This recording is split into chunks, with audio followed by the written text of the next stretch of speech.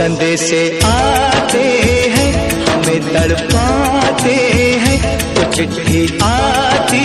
है तो पूछे जाती है कि घर कब आओगे कि घर कब आओगे लिखो कब आओगे कि तुम बिन ये घर सुना